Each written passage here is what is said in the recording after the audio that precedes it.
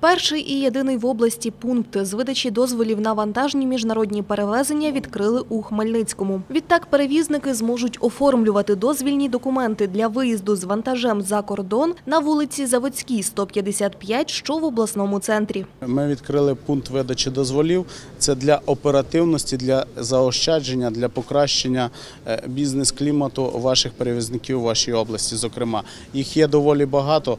Я знаю декілька тисяч перевізників, і е, вони їм не потрібно вже їхати в сусідню якусь область, отримати відповідний дозвіл на міжнародні перевезення. Місцеві перевізники, а їх в краї нараховується близько 1200, упевнені, відтепер вони зможуть заощаджувати свої гроші та час.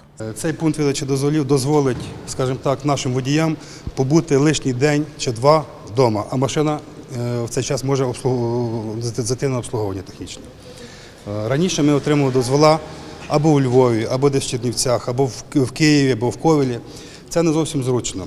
Віднині в області також запрацював сучасний пункт габаритно-вагового контролю. Тут перевірятимуть, чи не перевищує вага вантажівок встановлені норми. Задля того, аби не допустити подальшого руйнування дорожнього покриття.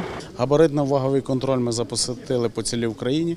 Зараз працює в кожній області е, наш габаритно-ваговий контроль для збереження українських доріг. Адже перевізники, які не від е, ну, не дотримуються норм е, навантаження, і ми прорахували по Україні наскільки йдуть збитки. Більше 2 мільярдів гривень псуються наші автошляхи е, в зв'язку з перегрузами. Контрольний пункт зважування вантажівок розташували у Пашківцях Хмельницького району.